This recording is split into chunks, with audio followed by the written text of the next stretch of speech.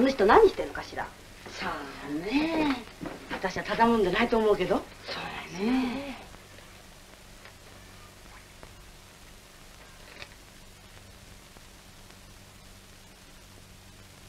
ここへ来てからもう一回にもなんのよ。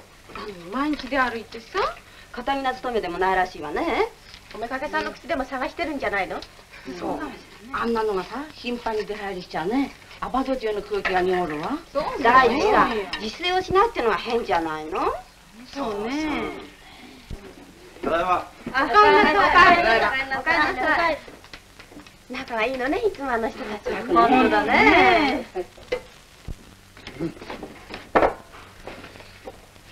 おタミお前早く支度しねえと学校が遅れるで大丈夫だよ花取ってくるよお今夜はな干物で我慢しとけ。明日ごちそう作ってやるからな、いいか？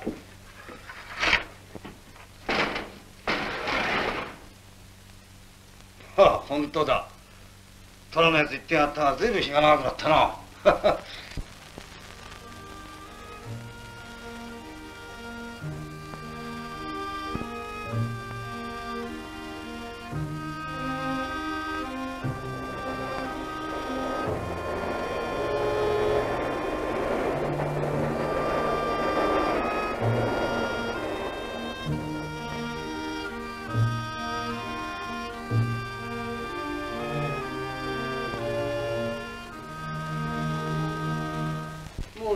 帰る時分なのに。何してんだろうね。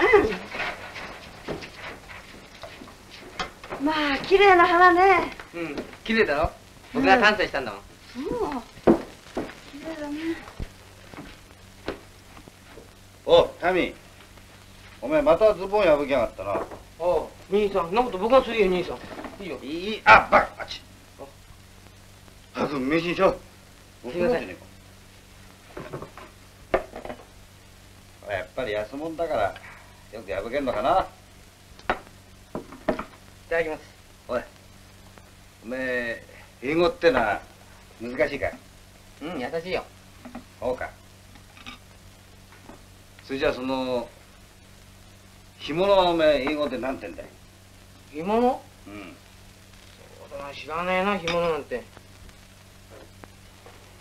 ああやっぱり外国には干物なんてねえのかもしんねえなそうだろうなきっと。うん。あ兄さん花綺麗だろ？はあよく咲いたな。やっぱりお前の丹精がいいからさ。あれ英語でなんていうか知ってっかい？バカ。恥かかせんだお前あれはゼラニウムって言うんだよ。そうか。うん難しい名前だな。しかしあの野郎やっぱり頭がいいや兄さん。ん？これ。今日のバットと電写真で。そうか。随分たまったろ。う50円ぐらいあるかもしれないよ。そうか。なんだそれでみんなお前の本買ってやろうなそうなんだよな。あ時にお前月謝どうしたっけ？月謝は弟持ってたばかりよ。そうか。どうも俺の性分ってのはおかしな性分ではあつきやがったな。お前ああいう払うもの払っちまわねえと気になってしょうがねえんでな。よしもうできたぞ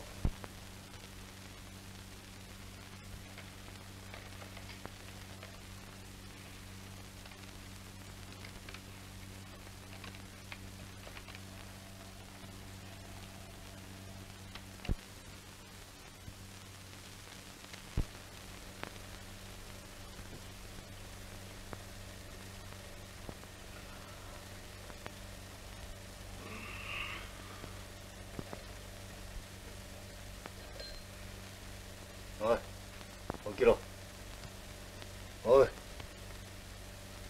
おい民。おい。もう10分流してくれしょうがねえさよし寝ろおはようおはようよおはようおはよう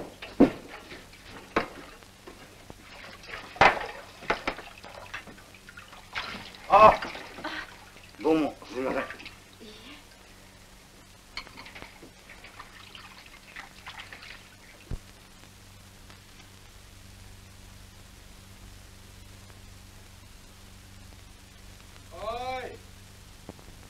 ああおはよ。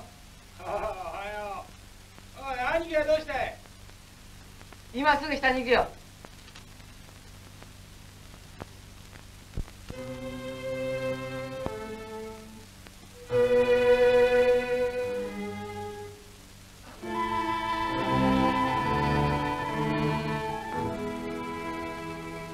おい今夜あたり一緒に活動見に行かねえか？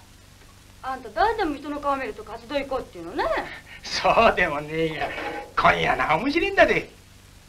後が怖いからよすわち気ましてやなおいまたやってやん。最後。はい行こう行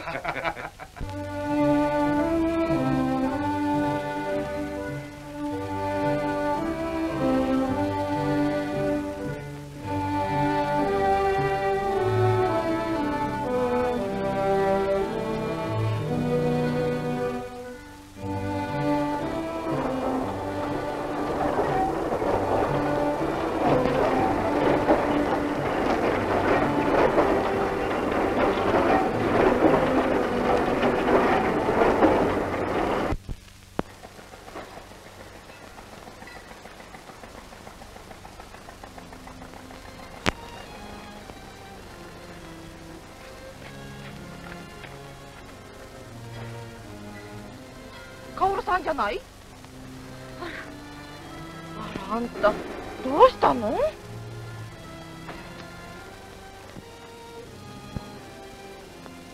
ずいぶん苦労したらしいわね。あんたは急にあのお店からいなくなっちまったんでずいぶん心配したのよ。で今はどう？ねえ小坂とはどうしたの？別れた？そりゃよかったわあんたあんな悪い飯がついたらいつまでたってうだつながらしないわよ。よかったわね。そう？あの人さん真面目だった。私も捨てられたんだけど。あら。あんたじゃあ小坂が真面目になったらマジ真面目だと元通りになるつもりだったの？けどあの人が本当に真面目になってくれれば。それダメよあんた。それダメよ。小坂が真面目になるもんですか。それダメよ。どう？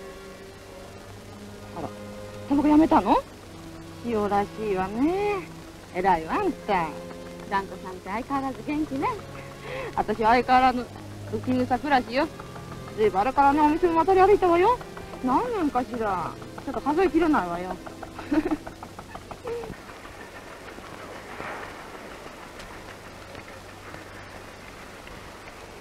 あんたそんなに嫌なの？受給商売だけは嫌なの。どんなに食べられなくてもあら給食欄の切り抜き？ずいぶん歩いたのね。ねなんか困ることがあったら私のとこ来てよ。ね？何か相談乗るわよ。私の今いるとこね。ここなの。このお店。ね？さねえ。そんな寂しそうな顔しないで元気を出しなさいよ。ね？小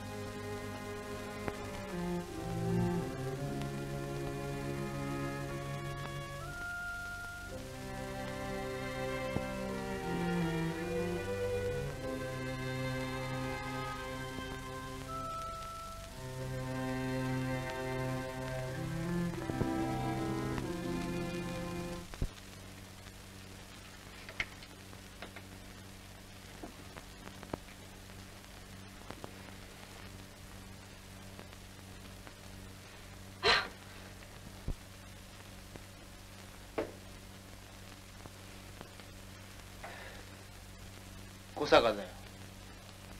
何もそんな驚くことねえじゃねえか。お前の亭主だよ。お前こんなとこいたのか。随分探しやったぜ。別れた女房で起こしてあってみたいな懐かしいや。な。話してよ。おうおうなんだ。お前俺と口聞きたくねえのか。何しにいらしたの？また私からお金を取るつもり？まあいいや。落ち着け。やなおいおい逃げるのか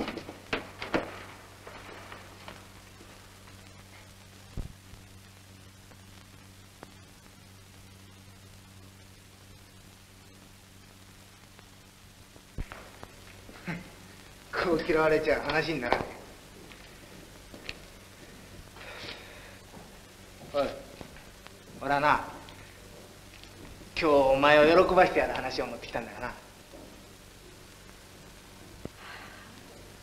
どうして良くなってくれないんでしょうね。えみってやんで。いつも俺から逃げてばっかりいるくせに何も俺のこと今更心配することないじゃねえ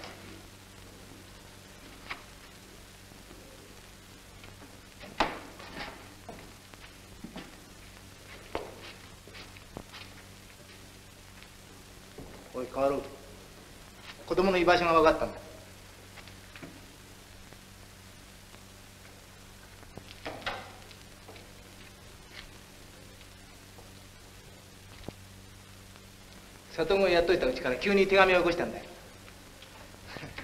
とんでもないとこ引っ越してやるもんだからいくら探したって分かんなかったはずよ。あなたの言うことなんか。当てになるもんですか。二人の間でできた可愛い子供のことだでいくら俺だって嘘なんかつけるか本当？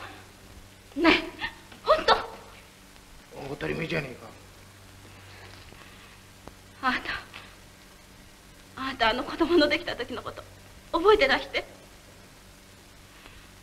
私が体が悪くって田舎に帰ってた時あなた何してらしたか覚えてらっしゃるの？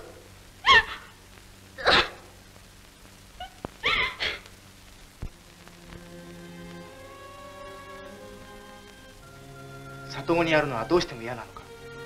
私坊やと別れるくらいならいっそ死んだ方がマシですじゃあ俺たちの生活が全然できなくてもいいって言うんだね。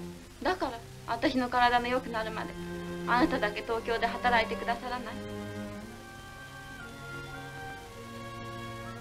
どんなに貧しくっても私いいわ。じゃあ俺の借金の200円は一体どうするつもりだ？お前さえあのカフェで働く気になってくれりゃ200円ぐらいなんでもないじゃない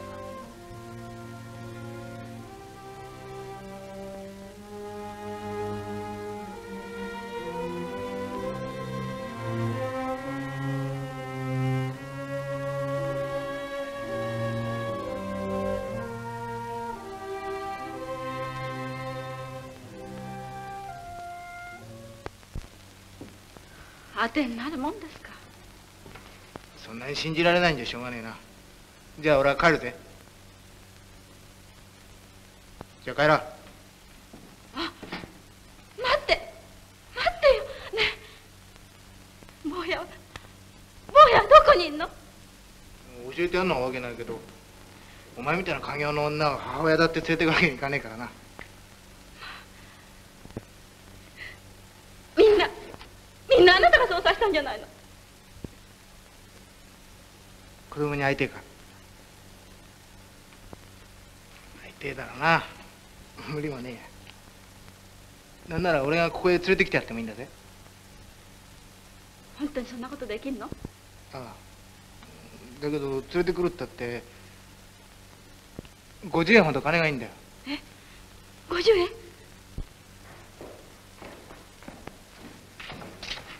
あれ花どこ行ったのかな？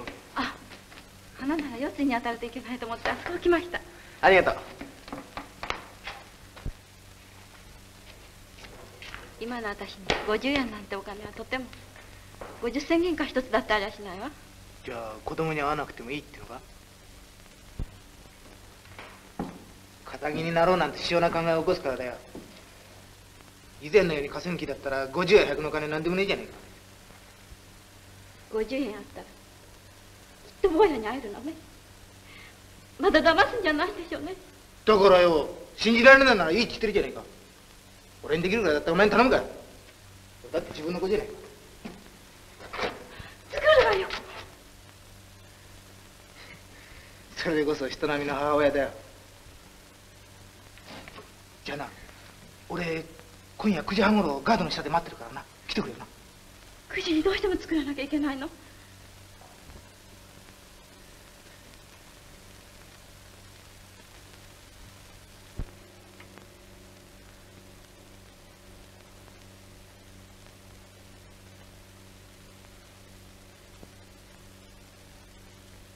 やっぱり蘭子さんのお店で働くしかないわ子供のためになら。自殺する母親だってあるんですもん。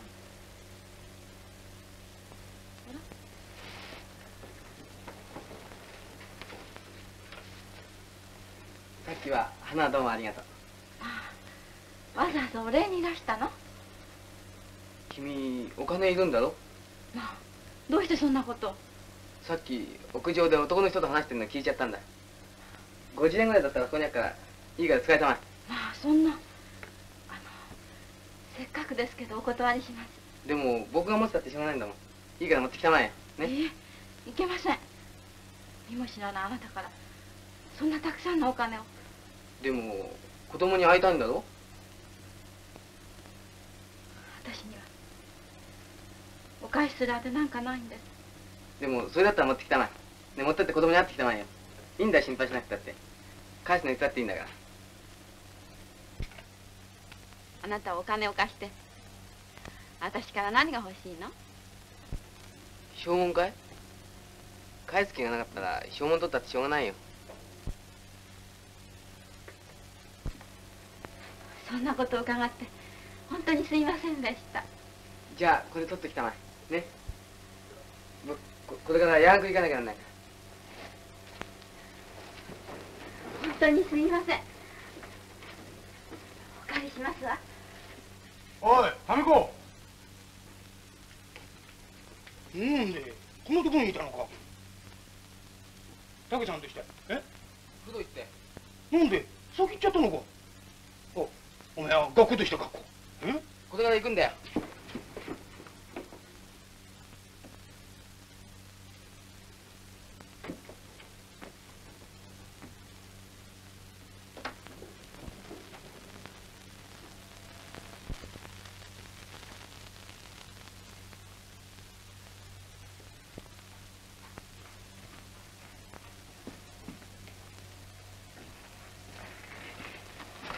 よく来たな金できたの？かきっと坊や連れてきてくれるわね。決まってじゃねえか。早く連れてきてね。うん嫌に思ってえなこれで50円か？明日の昼までに連れてきたら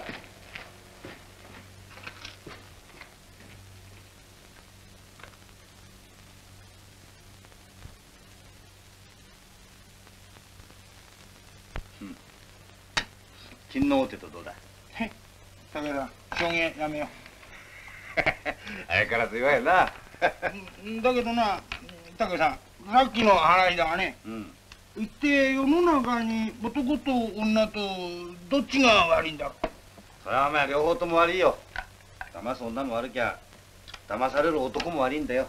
もうかな。大体なんだよお前その酔うとくどくできねえよお前は。民を見習いだろそうその通りさ。う だけどな竹さん。民さんもまだ年は若けんだ。気をつけた方がいいよ。ことに若い女には気をつけた方がいいぜ。心配すんなよ。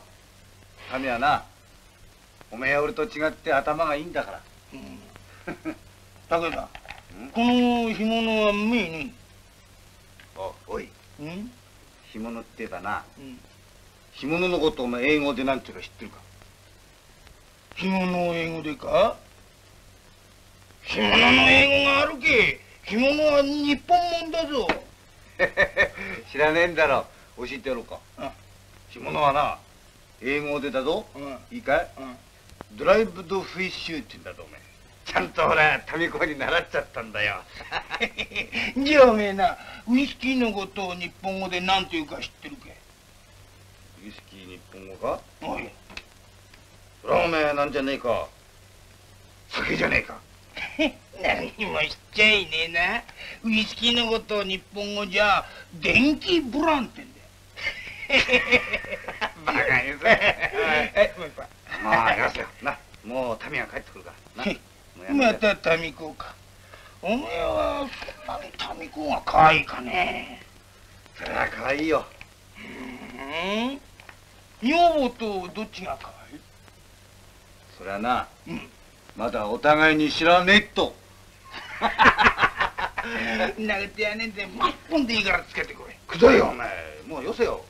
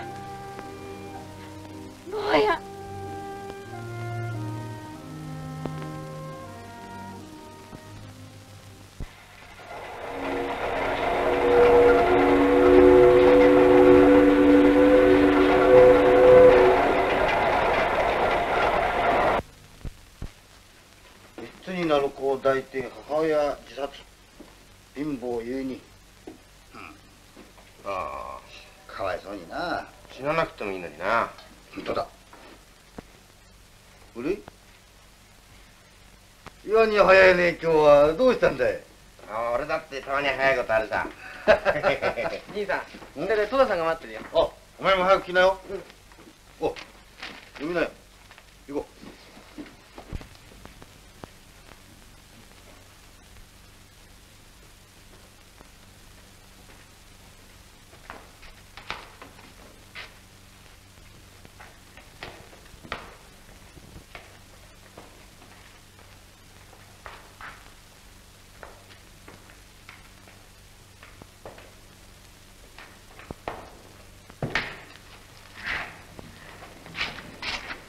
あのゆうべは本当にすみませんでした。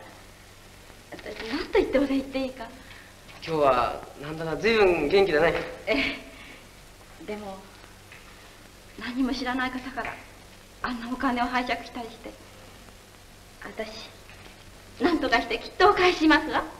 困るなそんなお礼言われちゃああの。あのまたこんなことをお願いしたりして本当になんですけど今日お昼まで私についててくださらない？どうして？夕べの男がまた来ますの。何されるかわからないんですもんだけど僕まだ兄さんにそう言ってないんだけどな。え？あなた兄さんがあんの？そうだよ。僕は兄さんと一緒に住んでんだよ。あら。では夕べのお金も兄さんにおっしゃらなかったんですか？いけませんわ。どこ行くの？お兄さんに話してくんの。待って。実は昨べ僕が話そうと思ったんだよどうして話してくださらなかったの？でも君の子供が来てからの方がいいと思ったんだ。でも私夕べお金みんな使ってしまったんですものでも子供は今日来るんだろ？ねえ子供の顔見れば兄さんきっと同情するよ。その時僕が話さ。ね？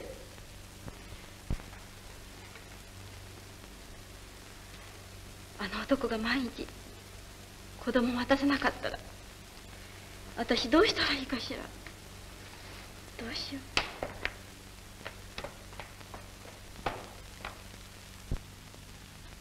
しょうがねえなあの野郎は。何をグズグズしてやんだろうな本当に。お俺なちょっとタガんとこ寄ってくからな。民と一緒にやっててくれ。うん。な頼むよ。いいかいよし。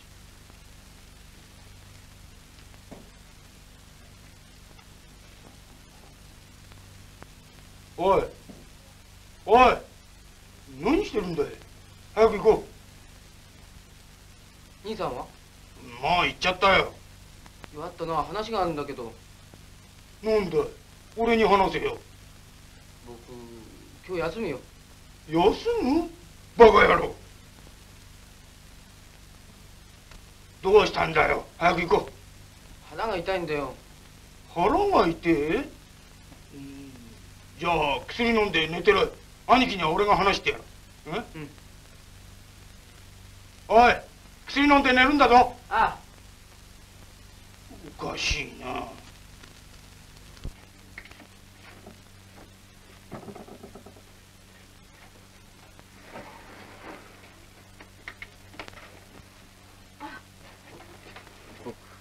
工場を休むことにしたよお兄さんに話してらした？許してくださったの？帰ったら話すつもりだ。きっと分かってくれると思うんだ。工場いらっしゃらなきゃいけませんわ。ねでももう遅すぎる。あそこは10分以上遅刻したら入れないんだ。そう。悪かったわね。僕は昨べ君たちの話をすっかり聞いて気の毒で涙が出たんだよでも今日は僕がついてるから。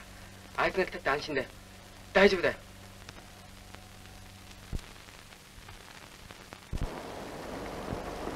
民の病気はどんな声だった？うん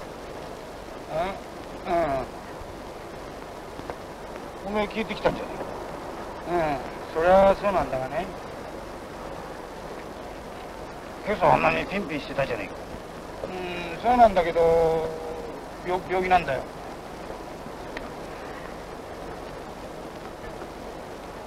しかしなんだな。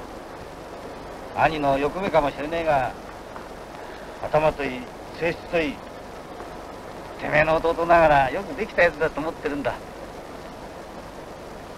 今の学校卒業したら民の野郎もそう思ってるだろうがなんとかしてもう一頑張り頑張って俺はもう一つ上の学校入れてやりたいと思ってんだ。なんなんだよ。何しろそのなんだ兄一人弟一人の仲だからな。おめえだってわかるだろ？あそうだろ？うん。なんなんだよその。こんなことは余計なことかもしれないけど。なあなあ武さん。なんだよあのー、近頃アパートに越してきた女があったろ？うんうん。あの24号のちょっと垢抜けのした女よ。それがどうしたんだよ？それがおめえそれとよなんだ神さんがそのどうも少し変だぜおい民はどうしたんだ？おい。実は俺夕べと今朝その二人で話してるところを確かに見たんだよ。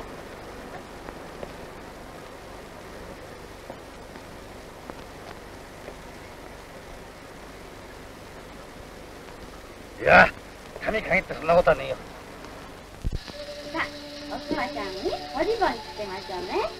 ほら、かわいいかわいいでしょかわいいかわいいかわいいね。うん、ぼうや喜ぶえ。どうさあ、今度はね、お口入って、こら、平坦ちゃん見に行きますよ。キッコキッコキッコキッコキッコ。あら、上手ね、ぼうや。大坊やいくつになったの？ぼうや三つなの。よそのお子さんの見て、早くこんなお靴が履かしたかったのよ。どうでしょう、このお靴。ぼうや履けるかしら？三つにしちゃ俺大きすぎるよこれは五つぐらいの靴だぜ君う？んそうかしら、そんなに大きい？嘘。どう見ても大きいよこれでも、いいわ。我慢して履いてもらうの。ね。ほら、くまちゃんも、お口も、いいわ。もう3時だぜそう。当に遅いわね。どうした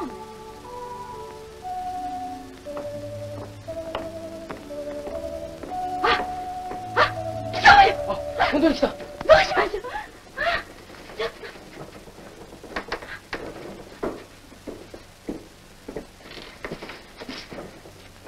あ、あら。あら。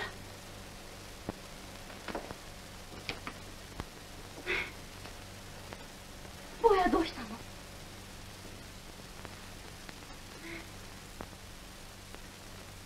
坊やどうしたのよそれがなあの迎えに行ったんだけど病気なんだ。坊やが病気？ほらこうして靴下まで買って今朝迎えに行ってみたんだよ。なんちったって赤の他人じゃろくな手当てだってできやしねえやな。それからおめえひてえやつじゃねえか。引き取るっつったら養育料として100円よこさなきゃってこう言やんだよ殺しにはしたくねえんだけどな。できねえかな。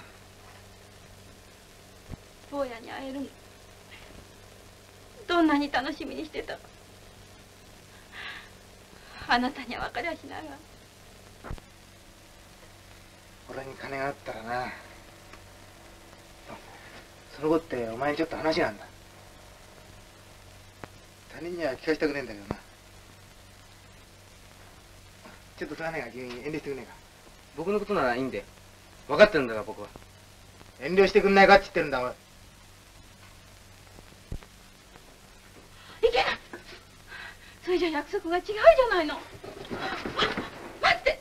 その方あなたに会うのに私が頼んでいてもらったんです。へえ。俺に会うために？え。おう。てめえ何か？てめえの亭主に会うのに他人がいるってのか？おい君乱暴じゃないか。黙ってろ。あなた何も知らないんです。あの昨べの50円だってこの方が親切に貸してくださったんですのよ。分かったわあなたって人あなたって人は何て人なんでしょう。私を騙して。おい若造なんだか知らねえがこの女に知恵つけて礼言うで。いずれ挨拶すっかななんだ君はもういけないいけないそこどいて僕が話してや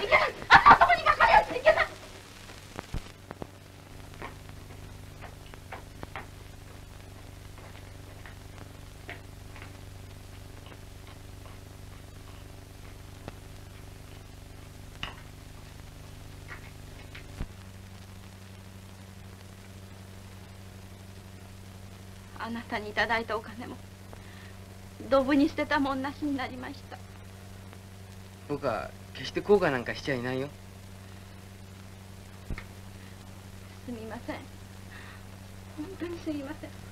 悲観しちゃダメだよまた来た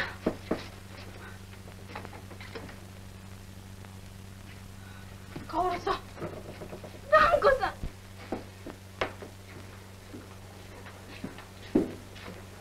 藤井さんあんな女のとこ行ってどうすんのよ？わけがあるんだよ。黙ってたま怪しいもんだわね。よく来てくれたわね。あれからなんだかあんたのことが心配になったね。あなた私の子供のこと知らない？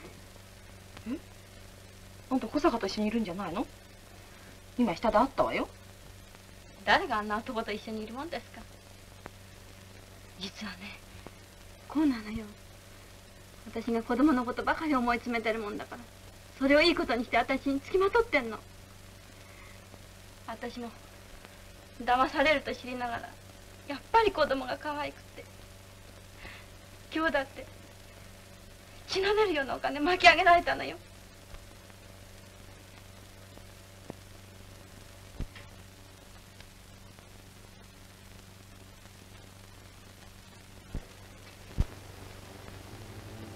あんた何にも知らないのね。え？小坂ってやつ。なんて悪党なんだ。ろうどうしたの？ねえどうしたの薫さん。よーく気を落ち着けて聞いてよ。ええ。あんたの子供ね。去年の秋。死んだのよ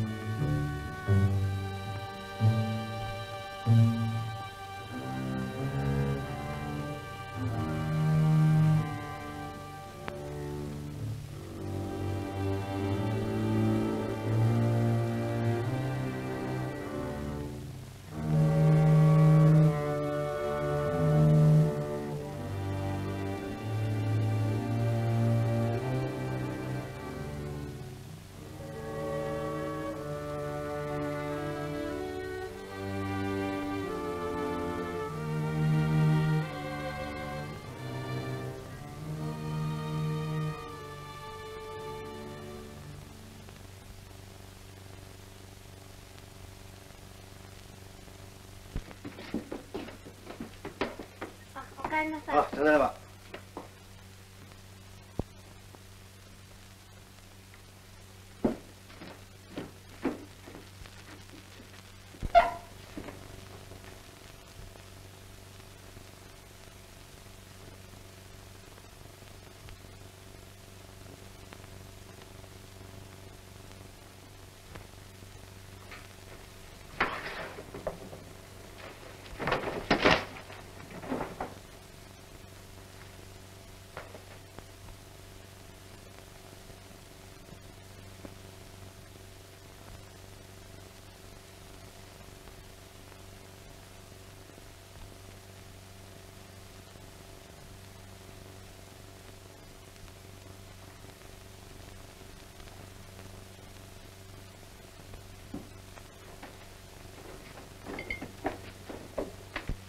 ねえしっかりしなきゃダメじゃないか。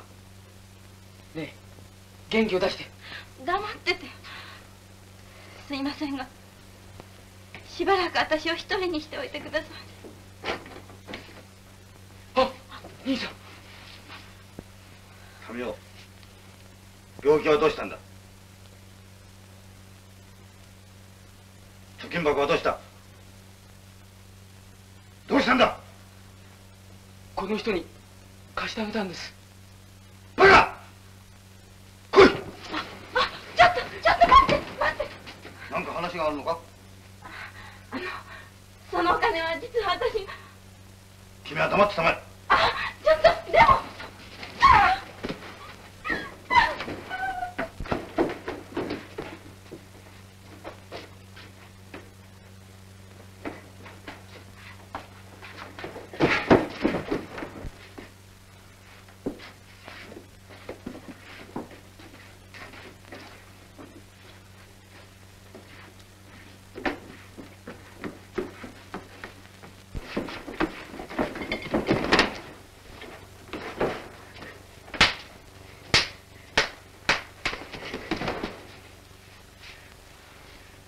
貴様に限ってそんなことはないと思ってたんだぞ。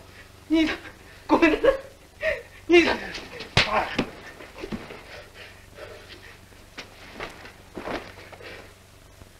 貴様なんか学校やめちまえ。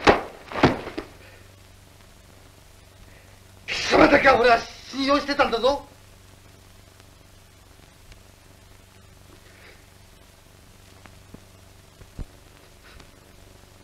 お前を立派な人間にすることだけがこの兄さんのたった一つの楽しみだったんだぞ。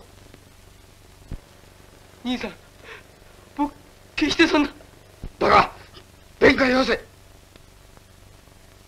奇病を使って工場を休む。大事な貯金まで貢ぐ。貴様に裏切られた俺はどうすりゃいいんだ。あのみんな私が悪いんですからどうぞ弟さん叱らないでください。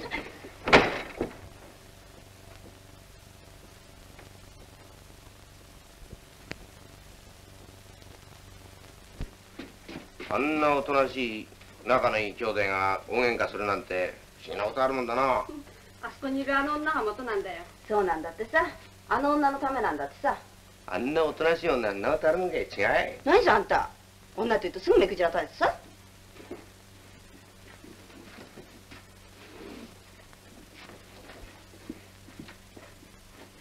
通知女ほんとね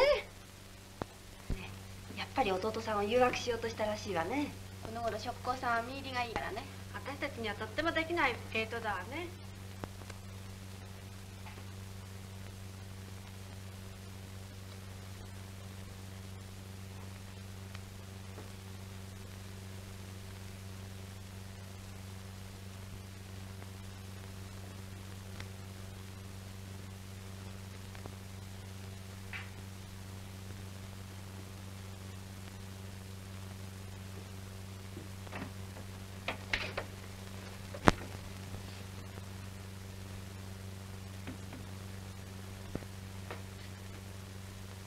君に話があってやってきたんだ。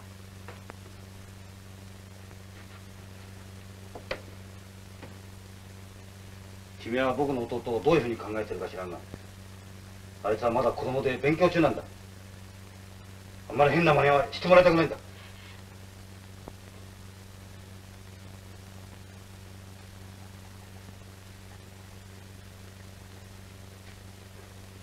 あいつはこれまで嘘をついたこともなければ仮病を使って工場を休んだことなんて一度もありゃしないんだ。それが君と次第になってからというものは今日まで真面目にやってきた弟がもしめちゃくちゃになるようなことがあったら俺の望みもこっぱみじんになってしまうんだ。おい叶えるんなら俺がどんなことしてもこしらえてやる。の代わり弟と口を聞くのは絶対にやめてくれ。はいよくわかりました。でもこれだけは信じてください。私は私は何も不純な気持ちで弟さんに近づいたんではありません。弟さんだって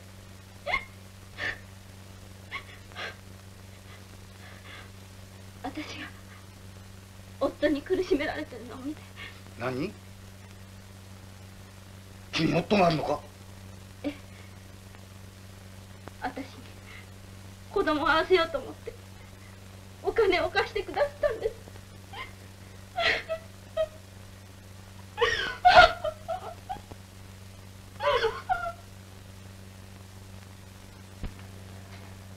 それで金がいったのかええでも私がご親切に甘えすぎたのがいけなかったんですどうか弟さんをお叱りにならないでください。あなたが弟さんのことを思いになる気持ち私にはよくわかります。わかりますわ。私だって今子供のこといっぱい考えてたんです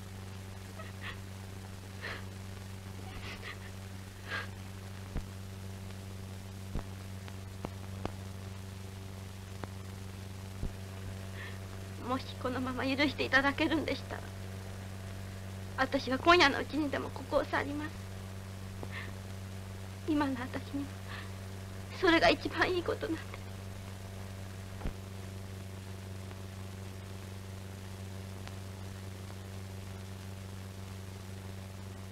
念を押すようだが弟を騙すっていう気持ちは毛頭なかったんだね。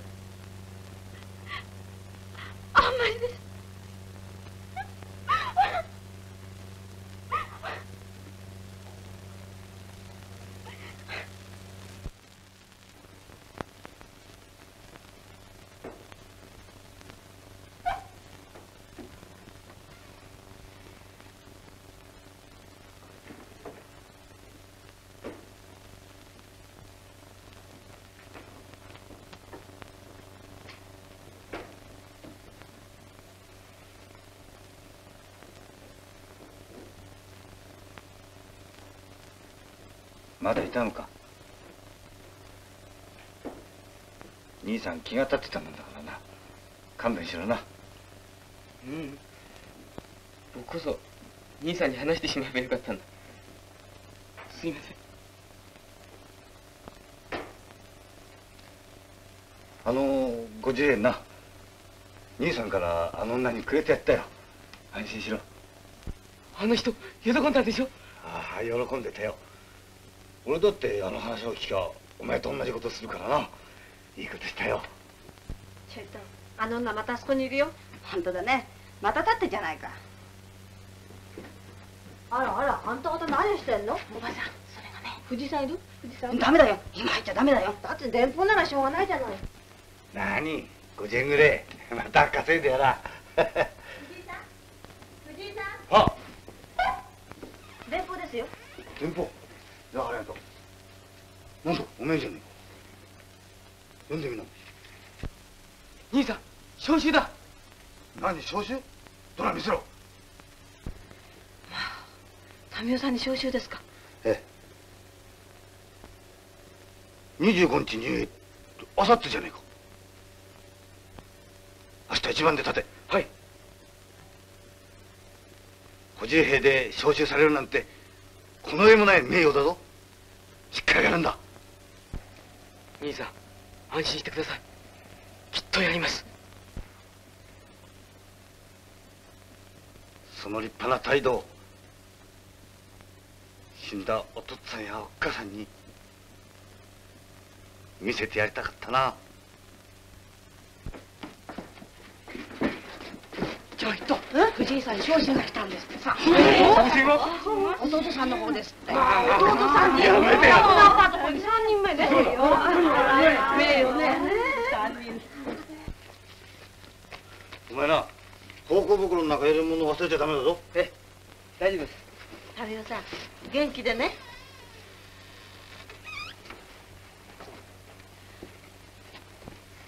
民生さんおめでとうございます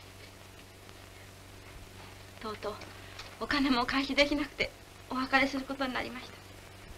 でもきっとお返しいたします。これは本当に何もできないんですけど気持ちだけです。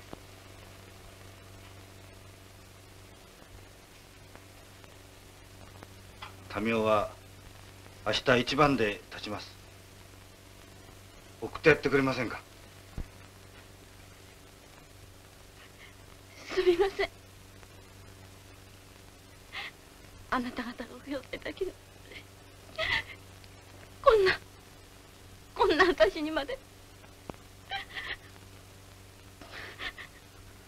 お送りしますお送りさせていただきます。きっときっとお送りいたします。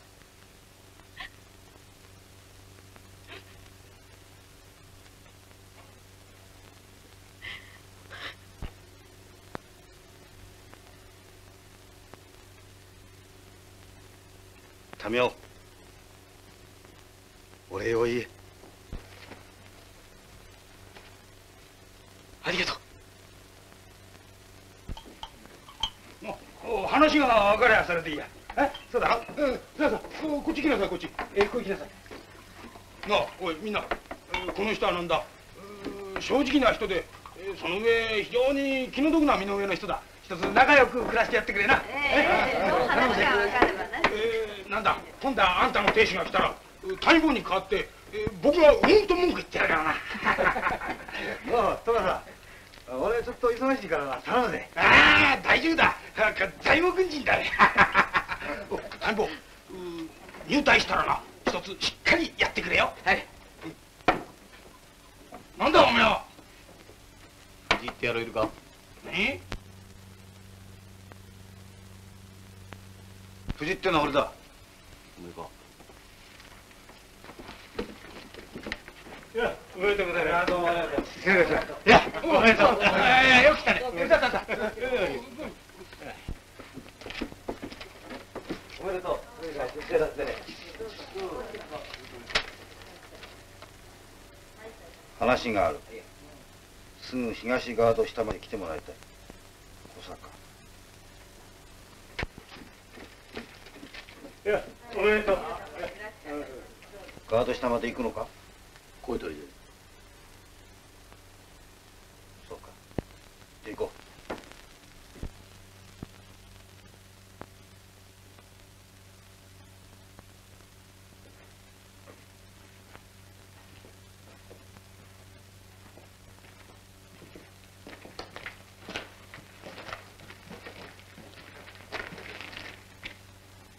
おい山田。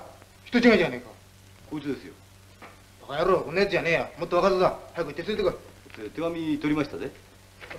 お前さん人違いだ。すまねえ帰ってくれ帰れよ俺が藤井だ。何？何？おう。お前頼まれてやってきたのか？バカ野郎つまらねえはったりやめろい民生は俺の弟だ。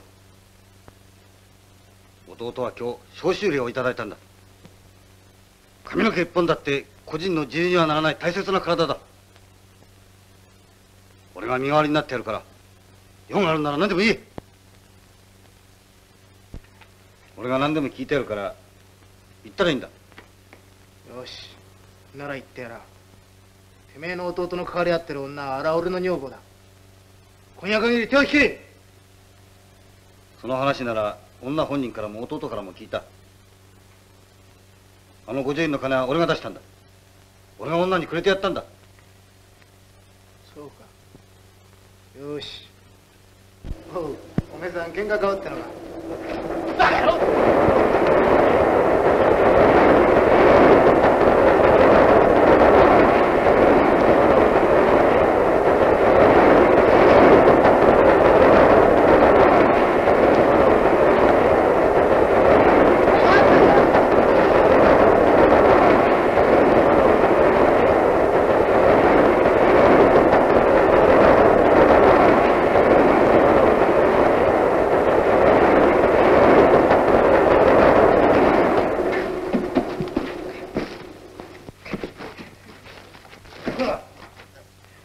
貴様はどうしてその不良じめた心を遊びねえんだ貴様の女房は死んだ子供の人形を抱いて泣いてたぞ貴様のような人間でも改心して帰ってくるの待ってんだぞ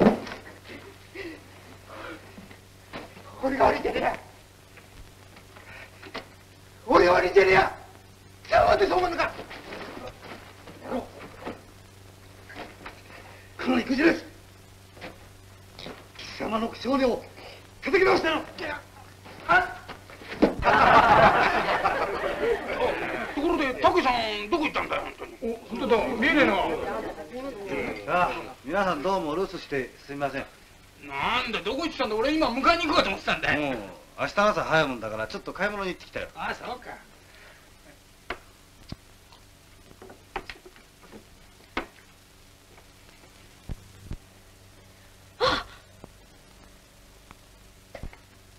何しに来たんだおめえか不良ってなよし俺が叩き直してくれるとああ多田さん多田さんまあ待ってくれよ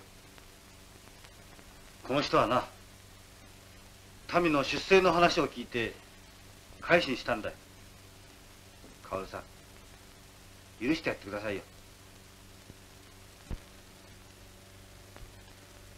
俺は民生の代わりにこの男を購買入れて立派に働かせてみせるよ。働くな。働きます。きっと働きます。民生立て